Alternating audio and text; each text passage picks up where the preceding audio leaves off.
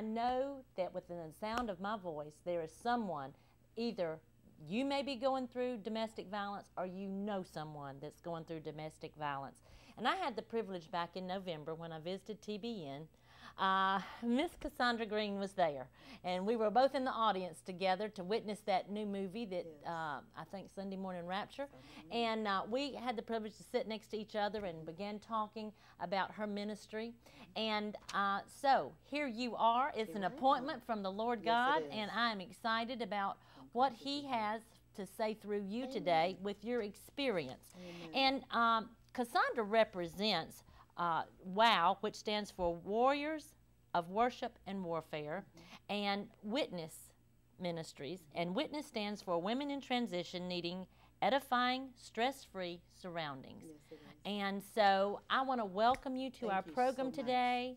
Uh, I know that really since we saw each other back in November, you have lost a very dear close friend mm-hmm. of yours to domestic violence. Yes, I did. And uh, out of that, even you called me again mm-hmm. to say, Diane, this is urgent. Mm-hmm. And so through some series of cancellations, mm-hmm. God brought, brought, you right down divine here. Divine appointment. It's a divine appointment. A divine appointment. Yes. And so we know because of that appointment that we are going to minister to you today, and we want to talk about domestic violence. I mean, mm-hmm. I I shared with you a little bit last night, mm-hmm. uh, and I I don't say that I was abused. I was not really. I don't guess abused, I, and you may differ with that, mm-hmm. but mm-hmm. I, I ran away from home and got married at 15, and I mm-hmm. went through. My husband was a, a good person, mm-hmm. but because of his own childhood and his own pain, he was very controlling. Uh, very hot headed. Mm-hmm. And even though we didn't go through uh, much physical, physical, abuse or anything, mm-hmm. it was very controlled. It yes. was a very controlled environment, mm-hmm. very dominating. Mm-hmm. And, uh, you know, that's a form of abuse. That is a form of abuse. And so I want so. you to talk about, uh, Cassandra, what you actually, I mean, it could be the beginning even of abuse that yes. could end in a death if yes. we're not careful. And I want you to talk to our, our viewers today about the statistics we were talking yes. about in Georgia, yes, and all that stuff yes. last night. Yes. So just recently, uh, Georgia was found on a list of federally uh, released uh, statistics to be the sixth highest in the nation for death of women due to domestic violence. To me, that is absolutely unacceptable. Six in the nation. So we must, in Georgia, make a stand and take a stand and to bring awareness to the problem of domestic violence. There are three to four women killed in this country every day due to domestic violence. There are 1.3 mm. million, approximately 1.3 million are abused, women uh, abused in this country every year. Mm. So the statistics are staggering. And until we decide, and I'm especially speaking to the church, until we do something, because most of the women that are being abused are Christian women. Isn't that something? Christian women are being abused in their relationships. And we know that it's not just women, but 85% of the abused are women. Okay. 85% are women. So we know that there are men and children being abused, but the numbers are extremely too high across the board for everyone. This should not be taking place. Right. It should not be taking place. That's right. That's mm-hmm. right. It's unbelievable. Now, what does your ministry? How, tell us a little bit about what you do. We do awareness more than anything else, and I personally, I, I have allowed women to come into my home as a safe house and a safe house, whether you're doing it uh, through an agency or whatever, is a place where the woman can go where she knows that no one is going to know where she is. And that's why it's important for the secrecy to be kept as far as her leaving. The main thing that I tell women, Diane, if you are planning to leave your abuser, never tell him that you are planning on leaving. Most women are killed are injured seriously when they let that abuser know that they're going to leave. It's a total no no. You set a plan, you make good plans as to how you're going to make that escape because the word of God said that he would make a way of escape. Mm-hmm. So there is a way to do it safely that you and your children are not in harm's way. hmm I remember a movie, and I can't remember the name of the movie now, Mm-hmm. where the woman had a little girl and her husband was very abusive. Mm-hmm, She ended up actually going back, and I'm not into the killing stuff, but J-Lo, she uh, that Lopez, that yeah, was that mhm. movie. You remember Uh, it? Yeah, I don't remember the name of it, but uh, I think it was called Enough. I, it might have I think it was called Enough. And see, that's where we don't want to get to No. the place where women are saying, you know what, enough. And I do prison ministry as well. I cannot tell you how many. The, the last time I was at a female facility, there was a woman there in her 70s that her husband, she had the marks on her body where he had cut her, beaten her. Oh. And finally, one day, she was like, okay, I cannot take this anymore. He had beaten her, went to bed drunk, and she just got the gun out of the, and, and killed him. We don't want to see those type of That's right. scenarios. That's right. But when someone gets enough is enough, either he's going to take your life or you'll end up taking his life. And we don't want to see that happen. Mm. We want to take measures now to safely transition out of those situations. Right after the first of the year, you lost a friend, and then he killed himself. Actually, shot his mother-in-law. Is that he correct? shot my, my the friend was my was the mother. She was my we I were childhood friends. Okay. And she was shot twice. Her daughter screamed for her, saying that he had a gun. The guy had a gun. The mother ran out of the room and said, "No, you are not gonna, you know, you're not gonna hurt my daughter." He shot the mother two times. Went, ran behind the girl, shot her two times, killed her, and then took the gun and killed himself. This was the second time in two and a half years, Diane, that I have personally had friends that lost children because of domestic violence. The one in 2009, the the young guy, he was 31, she was 27. He shot her and four times in front of their two children came into the hallway in Georgia, in Lithonia, Georgia, and killed himself with the children present. The young lady that just died uh, December 30th is when she was killed. She was 21. Oh, the young man was 23. And she so, had a child, Yes, she? yes, she did. And at the homegoing, this baby screamed and hollered for her mother. And I am just sick and tired of seeing that scenario played out. Yes. Yeah, Yes. we got to do something. Yeah. We've got to do something. And bringing awareness through programs like yours is what is going to make the difference.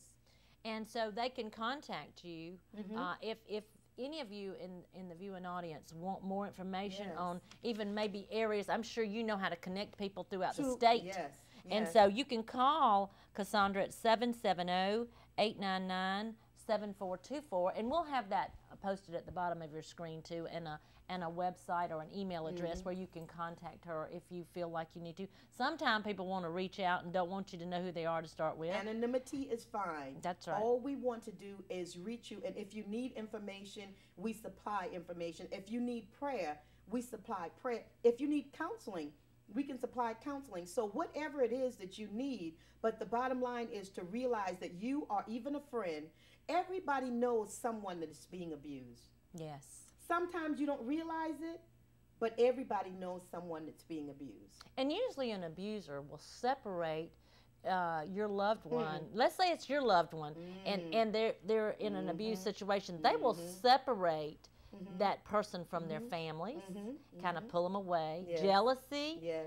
And you know, one of the things that, I, and we didn't even talk about this last evening when we Mm-hmm. were sharing, uh, but I learned a few years back, Mm-hmm. and and I, I was raised, saved in a Baptist church, Mm-hmm. love the Baptist people, and they know that here. Uh, but I began to learn some things, that, and this television program has really stretched me. Mm-hmm. And, and the Lord has taught me a lot. I've Yes. learned a lot. Like you said, Yes. there are no denominations. There should not No. be any. And, we, No. and I know all of that. But anyway, I went through a teaching about three years ago where I really became uh, aware. You know, the Bible talks about we, we don't fight flesh and blood. No. We're fighting principalities and rulers No. of darkness. And and the level that they came to me in this teaching was that these spirits, you see, that's an evil spirit that's possessing that person. It's not the person. We look No, at the the person, and say the person's bad. yeah. what's happened is Yeah, that spirit, is controlling that Mhm. that flesh. Exactly. And that- exactly. And that spirit, let's just say it's a, a, a spirit of, um, I don't know, violence, I guess. Yeah. The only way that spirit, ca- and I didn't understand this, it only can express itself when it gets expression through a human being. Mhm. Exactly. I'd never thought Ex- about that. Exactly. That's what spirits do. They roam. If they find a place that's open to them, that's where they dwell. And And all they know is that. that's it. For That's it. example, if That's a it. spirit of a lying spirit, Mhm, all mhm. it can do is lie. Lie. That's all it knows. And it gets gratification when it finally gets your flesh to lie. That's Mhm. when it gets gratification. Exactly. And I think it really came home to me when I was thinking about that spirit of adultery. Mhm, Now you think about that. when Oh, you take yeah. it to that level, that spirit of adultery, that spirit gets a little bit of relief. Yes. Just that one moment Yes. when you commit adultery, That's it gets to express itself for that one moment. And then it has to wait for somebody else to be It- willing it. to To express with itself. that's it. And so this violent spirit, and I don't even know if that's the right word Mhm. uh, to call this spirit, but this spirit of violence or manipulation, manipulation and control. that's what it's it actually is. a spirit of manipulation and Okay, control. yeah. And that is the main uh, tool that an abuser uses. If if that person can get you under they are oh, first of all, it takes manipulation to get you under control. It does, doesn't it? Yeah. So they're very loving and coming in. Most times, that's why women don't pick it up at the beginning most of the time because they're not going to come in gangbuster. Hey, you're going to do what I say, and you're not going to. That's not how they come. It's very loving and kind, and you know, let's do a dinner, let's do a movie. You know, you're so pretty, you're wonderful, and as you get caught up in it, slowly as that person is beginning to use the spirit of manipulation, which you don't even realize at first, the next thing you know, why are you going out with your friends? Why are you talking to your mother so much? What's wrong with you? You're going to do what I say. What? You're not going to go out tonight. No, you're not. That is how easily a person can get caught up in it before they even realize. And they don't make that move until they know they have you. That's right. That, and women with the, you know, I love him. I wrote a play called But I Love Him. And in that play, there were 12 women from different backgrounds white, black, Hispanic, young, old. Everybody was being uh, abused, but they all at the end said this thing that I've heard over 20 years of doing this type of ministry, but I love him. Oh wow. I have a black eye. I can't see my friends, can't talk to my family, but I love him. And until we can realize that God never intends for that to be love, that's not love. Whatever it is for you, it's not love because love does not hurt. It's not envious. It's, It's not patient. boastful. It's patient. It's kind. It's long suffering. come on now, long suffering. So that means that even if you push his button, he does not have a right to abuse you. No. He No. does not have a right to abuse you. And according to the word of God, and that's our that's our guideline, we do not operate in that type of a spirit when you say that you love God. Agape is not like that. Mm-mm. It's not like that. No, Mhm. no. This is so powerful. It's such a powerful subject today, It really is. and and we need to uh, pray uh, over the families that are even going through abuse. I mean, Mhm. children are abused. Children.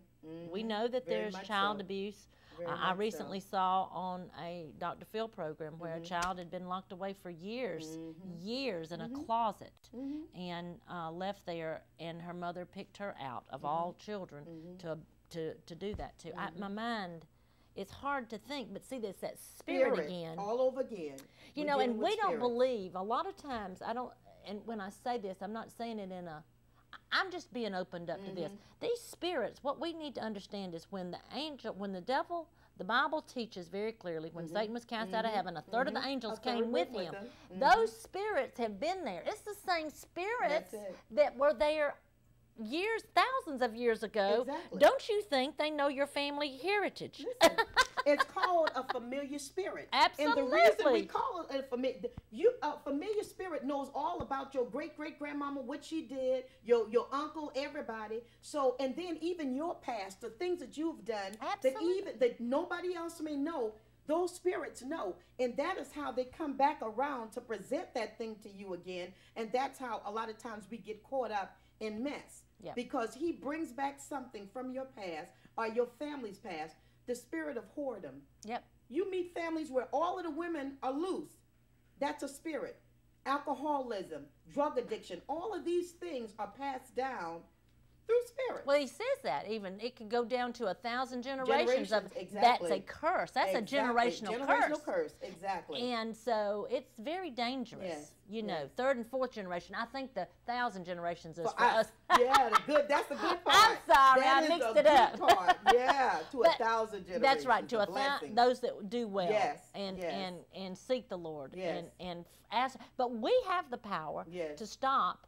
The heads of our homes have the power to stop this stuff Yes. from pri- prior generations Exactly, too. We do have that authority We as a child of God. We Mhm. have the authority to stop that, to mhm, bind it, and to mhm. stop it. That's it. That's you it, know, that's it. and then we need to go back and look in our own lives and say, Lord, have I opened up anything? And the Holy Spirit will show yes. us. Yes, and He is such a we have. teacher. It's sometimes we have opened ourselves up. My mother was abused. I watched her being abused as a child. We would actually have the state patrol at that time would come to our house when there was a domestic violence situation. They would load me and my siblings in the car, in their car, take us to the county line. A city policeman would pick us up and take us to our grandmother's house. This was like a almost a regular occurrence in my household because of domestic violence.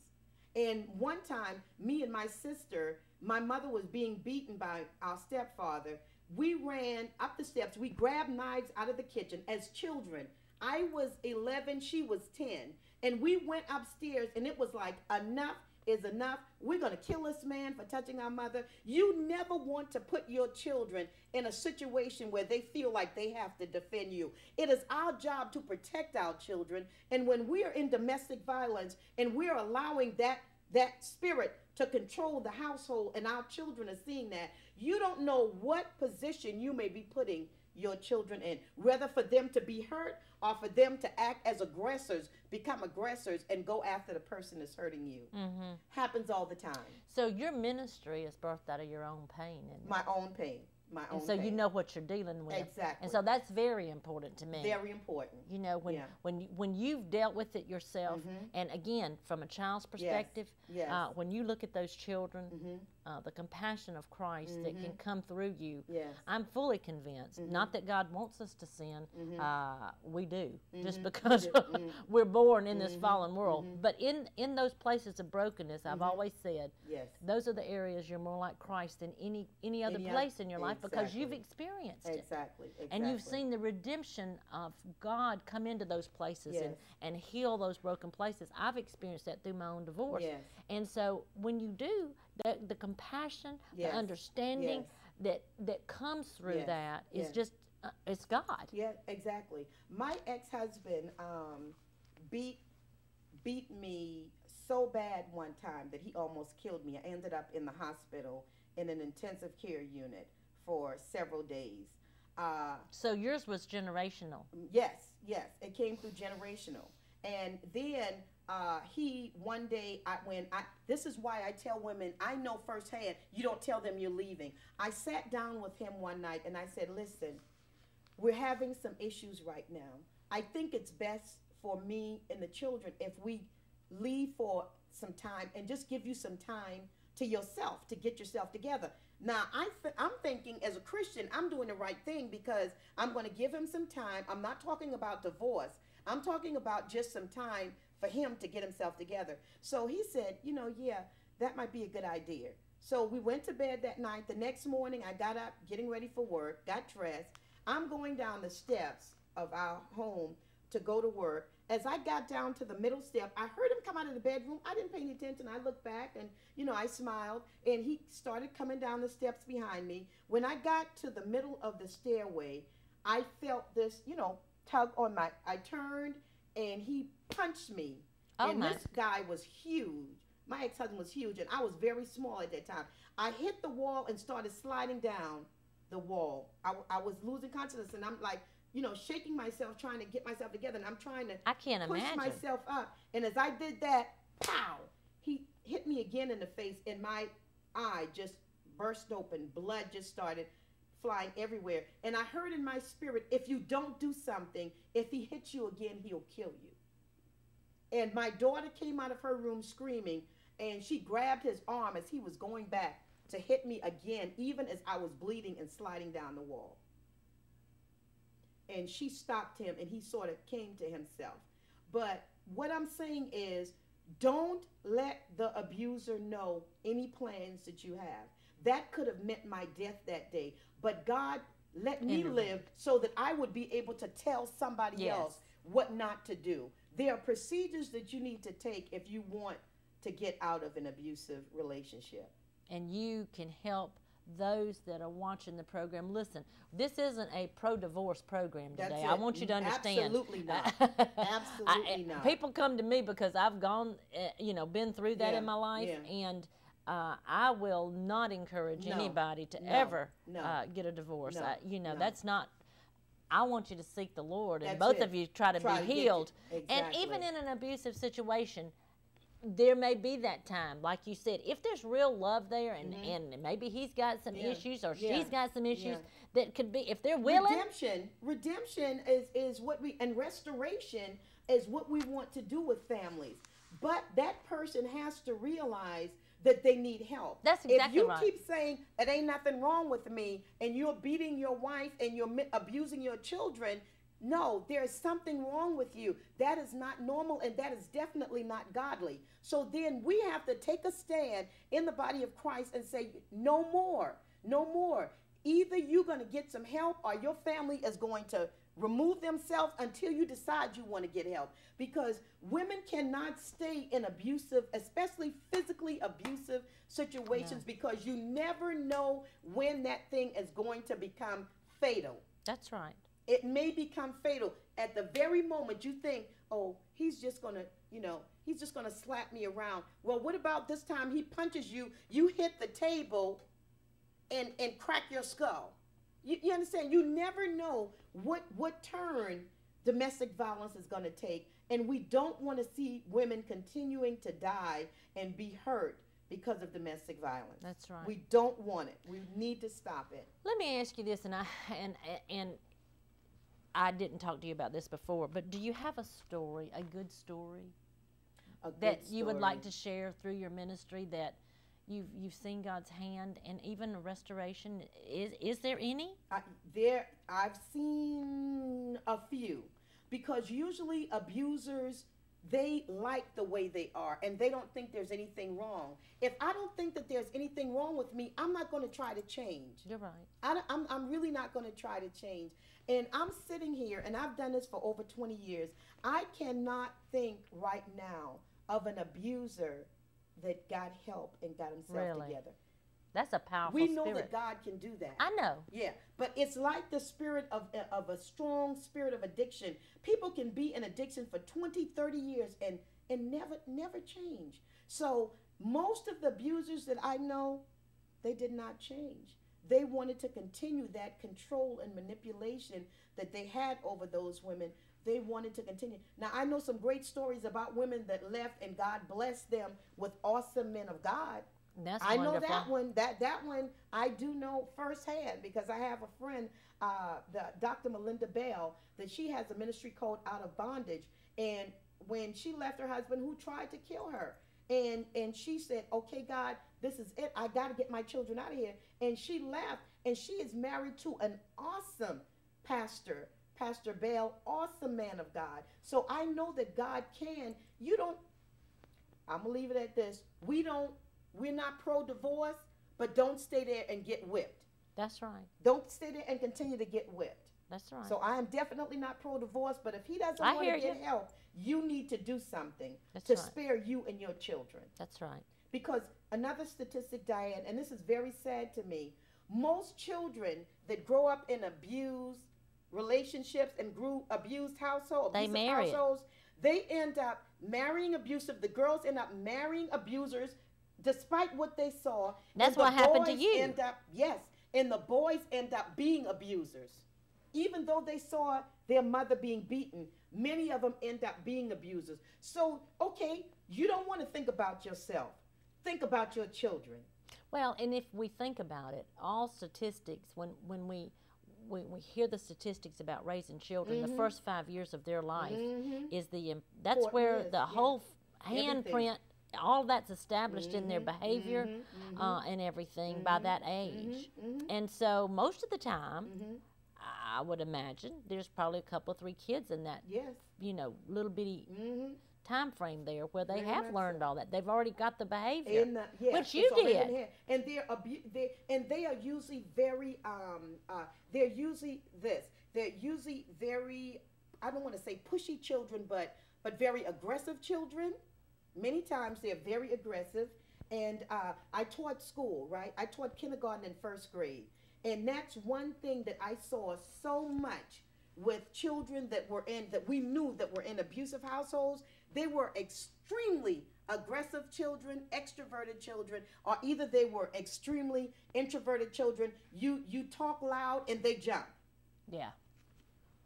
no child should have to live like that Well, we've only got about two minutes left. Can you believe how quick 30 minutes Mm-hmm. Goes? yeah. What would you like to say before we close the program? We've got just a couple of minutes. Is there anything you'd like to say? Yeah, I would like to say, please, if you know someone and you do know someone that's in that situation, or if you yourself are in that situation, please seek help. Your pastor, a friend, a counselor, you need to talk to somebody, at least that they would know what's going on with you. Don't just sit in silence and continue to be abused because we have to stop the cycle of abuse, especially here in the state of Georgia. Yes. Well, I'm so glad that you came, I Cassandra. enjoyed it so Thank much, you Diane. so Thank much. you. And I pray that if you do have uh, that issue going on in your family, or maybe you know someone that, that uh, whether it's a friend or whatever, uh, get them to watch this program this week. You know, it'll re air a couple of times, and we have those times uh, on our website, on our, on our Facebook page, or you can call me at 770 309 8635 and I'll be glad to get you those times. We need to get this information out, but you can go uh, and call Cassandra at 770 899 7424. Uh, And you can also go to wowwgod at yahoo.com, which is your email address, Yes. and email her, and uh, maybe you know y'all could get together and talk about the situation. Just know this that Christ died for you. He came over 2,000 years ago and gave his life, shed his blood for all of us at Calvary so that we could, our sins could be covered. I've been doing a study this year in the, uh, we're walking through the Bible, and just to think all the sacrifices they had to do back in the Old Testament. yes. But my Jesus Christ did it all for me at Calvary, and all I have to do is simply ask Him to come into my heart. And so, if that's where you are today, I know I'm a sinner. I know I need a Savior. And God, I believe that Jesus Christ is is the one and only Savior. You call on His name, and He'll come into your life. And at that birth, I promise you, everything that He created you to be, you have the power now. The only way you can let uh, yourself become who you're supposed to be is to have Christ inside of you, the hope of glory, to give you that power that you um, need to become everything He sent you here to be. And so God wants to do that for you today. If you've made that decision, call me at 770 309 8635 and I'll rejoice with you and maybe get you plugged into a local church so you can get to studying and knowing everything that God has for your life. He loves you so much. Don't you believe the lies of the enemy that you don't have a purpose. You got a big purpose. Remember, Christ in you is truly the hope of glory. I'll see you next week. Bye bye now. Thank you.